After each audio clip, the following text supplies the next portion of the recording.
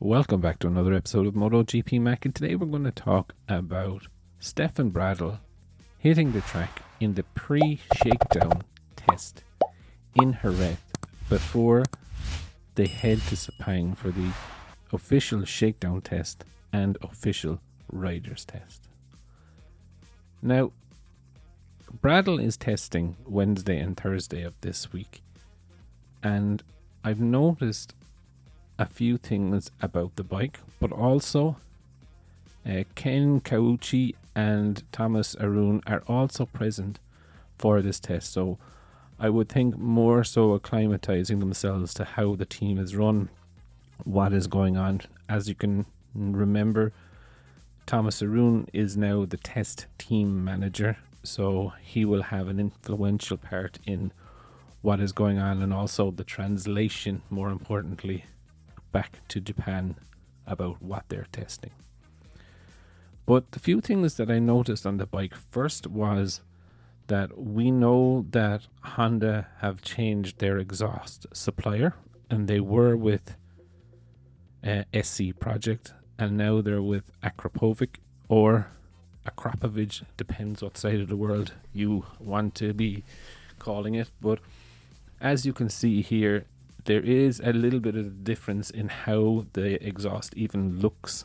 Uh, there's slight changes within the, the exhaust, and you'll see it here in this picture more so where I do a back to back. You see that while the design is somewhat similar, um, the definite color changes, um, which is standard with an Akrapovic, is definitely there.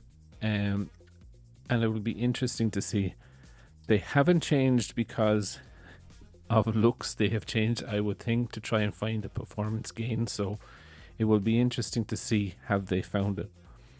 So the other thing that I noticed from the limited pictures that we have is that they're using the same nose cone as they were using in the Valencia test. However, it is the side of the fairing that they've put in another vent. And you will see the difference here um, as you can see Stefan Bradl's bike first and then following that you will see Mir's bike with the same sort of setup. But as you'll notice the top vent there is more towards the front.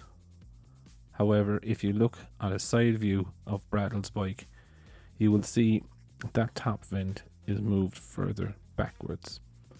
So there are some innovations definitely coming from Honda, and I do think it's very interesting. Now, the frame looks very similar to what they have run in the Valencia test, so I don't really have more up close pictures to see is there any difference. The main weld across just above where the rider's foot is consistent with the last frame and the bolt hole or the, the hole that is just at the highest point of the frame, just where it meets the fairing, seems to be similar to what Mir and Marquez were using in the Valencia test. But it will definitely be interesting to see what they come out with in Sepang. Now, Honda normally do a shakedown test prior to the shakedown test kicking off itself. More so, it's just a systematic check to make sure everything is functioning as it should prior to the test to try and maximize the time on track that they have. This year is a, an absolutely crucial year, in my view, for Honda.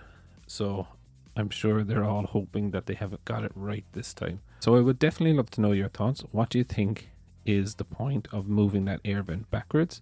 And also of the Akrapovic move from SC Project. Definitely leave your thoughts in the comments below, and I'll be back again tomorrow with another video.